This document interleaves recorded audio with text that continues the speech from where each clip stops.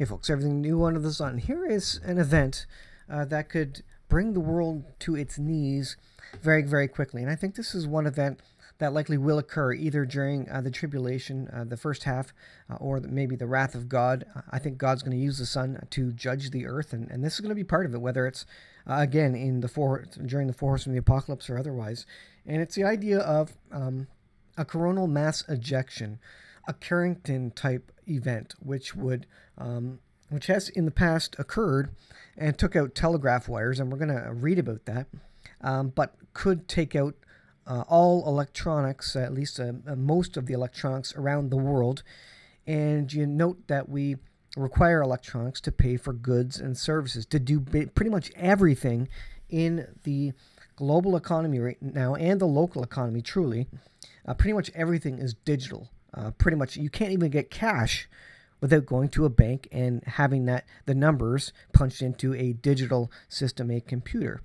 Uh, and so, uh, cash is just not something that they physically write down anymore. It's all ultimately it's all electronic, and uh, and the recognition of they, they even count cash uh, through digital counting machines that put it into the computer. So what you're looking at is an image of um, uh, the magnetosphere the satellites in and out of um, that uh, shield, as BP Earthwatch calls it. And if a CME comes and uh, and hits the Earth, uh, it can take out or significantly uh, uh, reduce or degrade uh, or disrupt satellite communications. And of course, satellite communications are big for internet with Elon Musk's um, um, Starlink and uh, all other types of communications, uh, flying, uh, flight, aviation. All that is uh, by way of uh, GPS, uh, Global Positioning System, which are satellites. So let's talk about um, Carrington event. so I, I want to take a look at one article here. And this is interesting. This is out of techevaluate.com. What to do before a G5 or greater geomagnetic storm. Very interesting.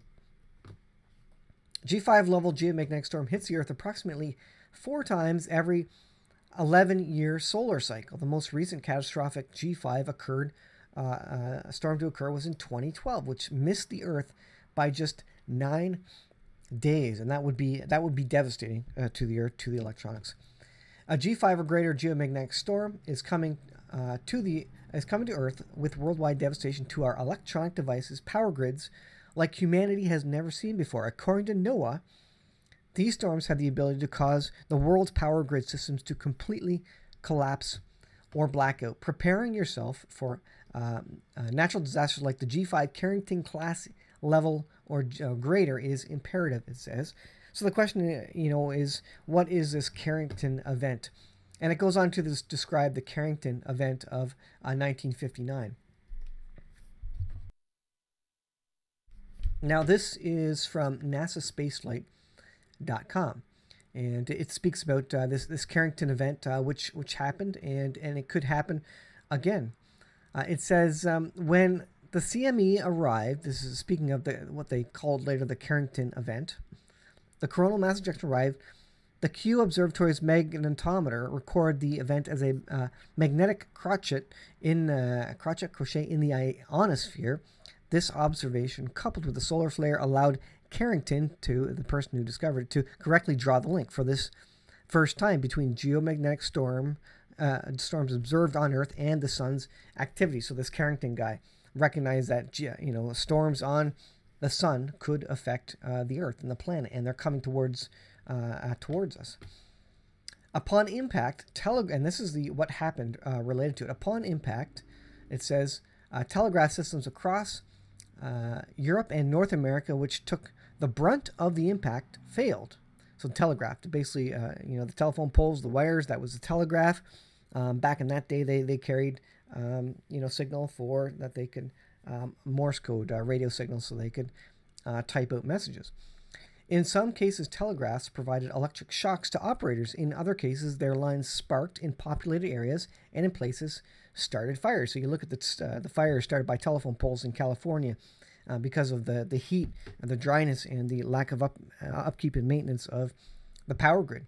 and that's what happened because the, the, the sun, the CME came out supercharged and put a put a charge on these cables, and it flowed down the cables. And when it got to the end, it had to go somewhere, so it shorted out to Earth or, or uh, started a fire spark somewhere and released its energy. And uh, this is very much what uh, we uh, are likely to see again. says the auroras were so strong they clearly uh, were clearly observed throughout the Caribbean Mexico, Hawaii, southern Japan, southern China, and as far south as Colombia near the equator uh, in South America, and as far north as Queensland. It says the strength of the Carrington event is now recognized in heliophysics as a specific class of CME and is named after Richard Carrington. So now you know what the Carrington event is when people describe that uh, in relation to taking out the grid. Historical evidence uh, in form of carbon 14 trapped in preserved tree rings indicates that the previous similarly energetic CME event uh, to the one in 1959 occurred in uh, 774 uh, CE, Common Era, and that Carrington class Earth uh, impact events occur on average once every several millennia. So, uh, is this going to increase in the last days? I, I think it uh, will. It says, however, a Carrington class superstorm did erupt from the sun uh, the 23rd of July 2012, narrowly missed the Earth by just nine days. It says coming shortly after 2012, researchers from Lloyd's of London and Atmospheric and Environmental Research Agency in the United States estimate that a Carrington class event impacting uh, Earth today would cause between 0.6 and 2.6 trillion dollars in damages to the United States alone and would cause widespread if not global, electrical disruptions, blackouts, damages. Um, but that's that's not it. You think, okay, well, well, the grid goes down for for a couple hours. Uh, it's far worse than that, folks. It really is. Cascading failures of electric grids, uh electrical grids, especially in New England and the United States, also uh, are also particularly liked during a Carrington class event. Power restoration estimates range anywhere from a week to being without power to a, to the least affected areas to more than a year to the hardest hit regions, basically to to fix all the fried wires and equipment uh, that this does, basically like a lightning strike all over um, the the continent. Uh, basically, that's what uh, that's what we're talking about here. So you can't just uh, restart the the grid. You need to go and fix, repair, replace, uh, pretty much replace all this burnt uh, equipment. And you know, with the supply chain issues, we don't have that hardware. We don't have um, the transformers and all that wire if it's all burned, if all the casings burned off it from the extreme uh, amperage and, and, heat of uh, a CME that would come through it. Um, this is this is the kicker here. Uh, you can't participate in the economy uh, if this happens.